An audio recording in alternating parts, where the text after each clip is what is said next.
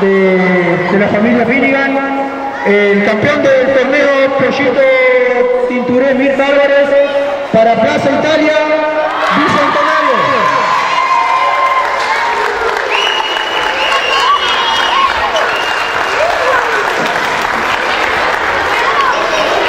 Pequeños trofeitos se van a llevar a la canchita.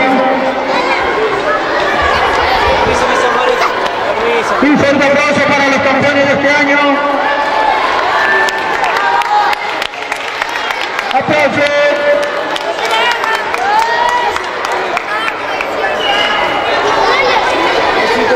Muchísimas gracias a todos. Eh, los esperamos el otro año. Eh, vamos a disfrutar.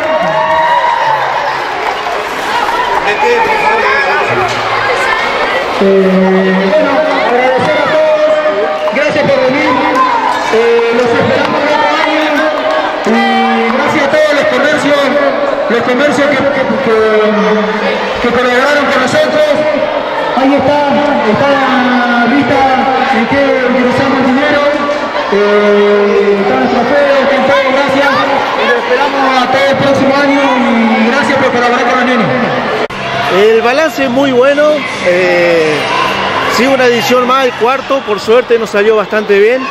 Lo único que tuvimos unos pequeños percances que a último momento se nos cayeron algunos equipos de afuera, como Secomayo y Maquinchao, pero igual le metimos para adelante con todo el equipo que hay en Jacobasi, que la verdad que son muchos.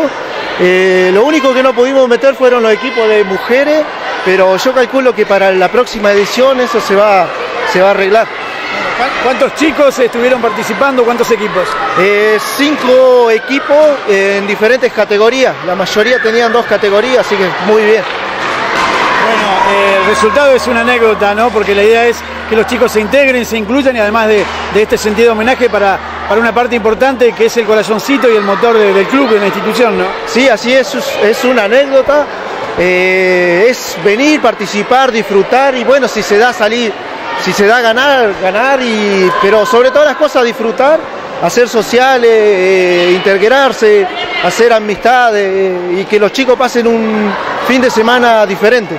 Aprovechamos para, que nos cuentes un poquito cómo está la institución, bueno, cerrando el año, eh, con, con poco fútbol, pero, pero con muchas ganas de seguir haciendo cosas, ¿no? Sí, por suerte estamos bien. Lo único malo que no estamos trabajando en primera división porque no hay una fecha exacta de comienzo de la liga. Pero a nivel institución estamos trabajando bien. Ahora para diciembre estamos apostando fuerte para el 24 que tenemos un baile y que vamos a romper un poquito el esquema de la institución, así que nos vamos a jugar. Y yo calculo que en la semana que viene o la siguiente ya va a haber novedades de los grupos que vamos a traer. Lo mejor para ustedes a disposición, como siempre, de los medios. Bueno, muchísimas gracias por estar siempre, por difundir todo el deporte de Jacobasi, por, por brindar este espacio a los nenes que es solo para ellos y, y una vez más orgullosos, nos sentimos totalmente orgullosos de armar la cuarta edición del torneo Pollo, Pollito Tinturé Mirta Álvarez y que esto no va a terminar, que para la próxima va a ser mejor. Veo parte de la familia de ellos. ¿Qué significa esto para ustedes? Nombrar a Pollito, nombrar a Mirta. Eh, significa eh, Deportivo Jacobasi. Ellos fueron el motor, seguirán siendo el motor siempre de la institución y rendirle este pequeño homenaje es algo muy, muy lindo.